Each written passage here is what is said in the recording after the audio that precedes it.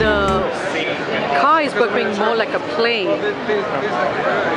It's becoming more like a plane in terms of all the communication, navigation systems that you have. And also, it's a hybrid between a, a, pl- a plane's cockpit and a living room. The comfort of your couch, the lean back experience. Is that what, what went through your Well, it's actually a fantastic question because we, we actually we say two things at Ford. One is the car is the ultimate mobile device, so being able to connect, being able to have that totally seamless user experience is critically important.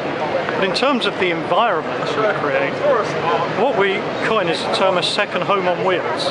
Second home on wheels, second office on wheels. It's a very comfortable place to be, great materials, great craftsmanship, co-branding with familiar partners like Sony, like Microsoft, THX in our Lincoln vehicles to really create that very familiar environment. So vehicles that are connected, vehicles that are comfortable, vehicles that really create an environment that you want to be in.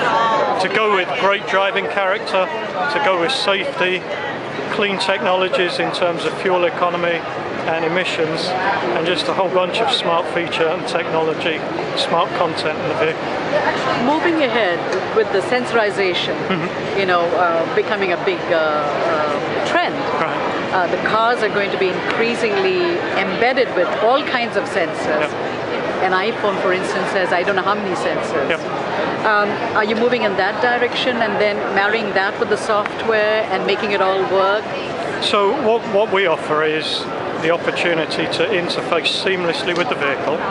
So to bring your mobile device in, port in through Bluetooth or USB, and then seamlessly interface through our HMI, human machine interface, the touch screen, the capacitive sensing, the steering wheel controls.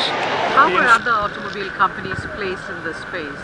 Well, we feel we're in a leadership position and uh, intend to, to stay in a leadership position. And is this going to be rolled out in uh, different countries, or is US the first country where it's going to be rolled US out? is the first country. Um, we launched My Ford Touch with the Edge, the Ford Edge, and the Lincoln MKX uh, vehicle last year.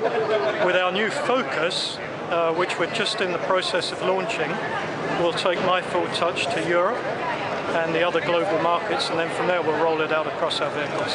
And would there be any protocol problems or any kind of software issues? No, there are differences. Languages, obviously, is one of the, the big areas that we have to work on, and uh, we have multiple languages, um, more, more than I more than I care to remember. But multiple languages is probably Multiple languages, so you're using Nuance for your speech recognition. We use Nuance as our speech engine. Yeah, Does Nuance uh, port very well in other languages? You know. yeah they do, and um, I say, it's a full suite of languages.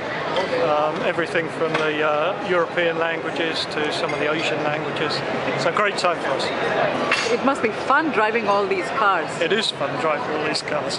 Thank you. Thanks.